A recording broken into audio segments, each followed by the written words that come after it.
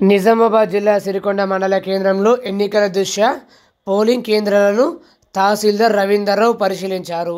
ఈ సందర్భంగా ఆయన మాట్లాడుతూ గ్రామ పంచాయతీలో ఒక పోలింగ్ కేంద్రం హై స్కూల్ రెండు పోలింగ్ కేంద్రాలు ప్రైమరీ స్కూల్ ఒక పోలింగ్ కేంద్రాలను పరిశీలించడం జరిగిందని ఈ పోలింగ్ కేంద్రాలు అనుకూలంగా ఉన్నాయా లేదని పరిశీలించారు. మిగిలిన పోలింగ్ కేంద్రాలను దశల వారీగా పరిశీలిస్తామని తెలిపారు. ఈ కార్యక్రమంలో తహసీల్దార్ బి రవీందర్రావు వెంట ఆర్ఏ గంగరాజం విఆర్ఏ సాయిలు తదితరులు ఉన్నారు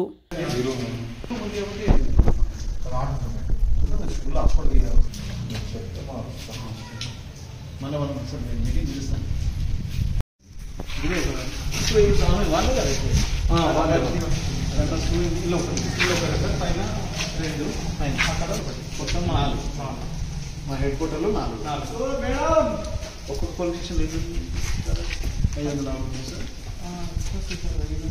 ఒక్కసారి అడిగితే ఎన్ని వందల చిల్లర